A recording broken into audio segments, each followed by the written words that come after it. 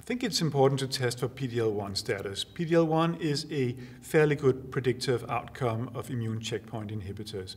So in order to select the right treatment for a particular patient, PD-L1 testing is, is really important. But other things also goes into the, the sort of the evaluation as we try to determine a, um, a, a proper treatment for a particular patient.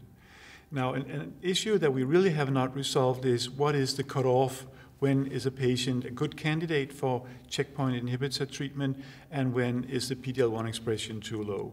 I think we have seen many different cutoffs in clinical trials. Uh, it appears that a, a, minimum cutoff of 1% is, is certainly uh, something that we can use. It's also quite clear that if we raise the bar, we will be even better at selecting uh, checkpoint inhibitor treatment for patients. I think it's quite clear that PD-L1 status predicts the outcome of checkpoint inhibitors. So the higher the score, the better the outcome can be expected.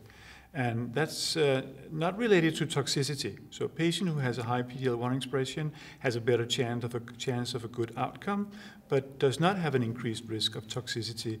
So the benefit for the patient really has a lot to do with the particular expression within the tumor of this particular patient. Immunotherapy has become an additional treatment option for our patients with pre-treated uh, advanced non-small cell lung cancer. We have seen in two really large trials that there is a relation between the PD-L1 expression and the efficacy of anti-PD-1 antibodies.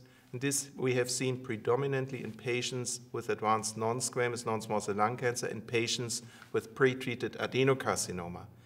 In my practice, when I do have a pre-treated patients with adenocarcinoma, I would like to see the PD-L1 expression status. I would like to test my patient for the PD-L1 expression status because this is one additional instrument for my selection of treatment. So if I would have a patient in a good shape with a clear PD-L1 negative tumor, I also would think about giving this patient first a chemotherapy as a second line treatment option.